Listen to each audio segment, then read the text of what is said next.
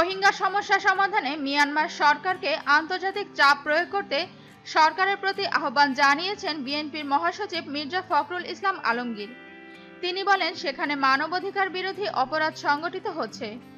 সরকারের উচিত যারা এভাবে বিতাড়িত হয়ে আসছে, তাদের সাময়িকভাবে আশ্রয় দেওয়া এবং মিয়ানমার সরকারের সঙ্গে, যেহেতু আমাদের বর্ডারের সঙ্গে সমস্যাটা অতি দ্রুত আলাপ আলোচনার মাধ্যমে তাদের সসম্মানে ফেরত নেওয়ার ব্যবস্থা করা।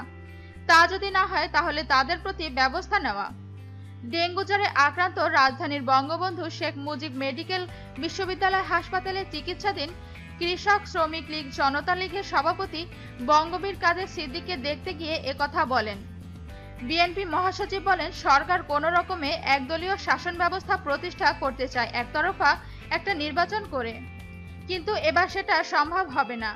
এবার দেশের মানুষও তা গ্রহণ করবে না। সহায়ক সরকার বলতে আমরা যেটা বুঝিয়েছি, তারা চাইছে না এটা। বৃহত্তর জনগোষ্ঠী সে আশা আকাঙ্ক্ষা তার প্রতিফলন তো সংবিধানই। তো প্রয়োজনে সেটা পরিবর্তন করাও যেতে পারে। অবিলম্বে নিরপেক্ষ সরকারের অধীনে নির্বাচনের ব্যবস্থা করতে সরকারের প্রতি আহ্বান জানান মির্জা ফখরুল। আরও এমন নিত্য নতুন তথ্য জানতে এখনই সাবস্ক্রাইব করুন আমাদের চ্যানেলকে।